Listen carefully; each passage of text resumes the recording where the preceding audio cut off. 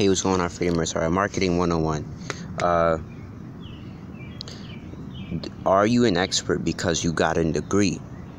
Now, I know it's kind of controversial the fact that if people are graduating now, um, the quote that goes with that is I never went to college, but the people who work for me, I went, never went to Harvard, but the people who work for me do. Um, to me, education is the person who has mastered a skill in application.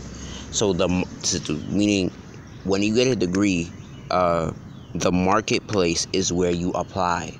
So until you are applying that and you you know you've made an impact in your field, you are not really an ex. You're not really educated to me. You're just a person who's mastered regurgitation and memory. Um, because there are a lot of people who know a lot of information, but their communities are still the same, especially if you're black. There's a lot of, we have a lot of black people who have degrees. Our communities are still the same. Our economic situation is still the same. So I really have to question: Are you really educated, or do you just got a degree in somebody else's science? Um, and I'm not saying you can't break through, you can't make things happen, etc., etc. But the system is not really changed because you got a degree. Um, it's those who are mastering application uh, of those degrees that really change lives, etc., etc. Uh, degrees don't often mean you. Degrees don't mean uh, don't often. Degrees often prepare you to work for somebody else.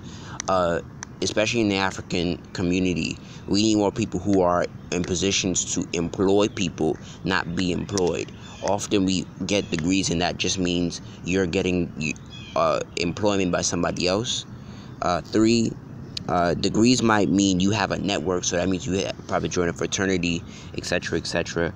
Um, that means you might have a network, but that's not a guarantee either.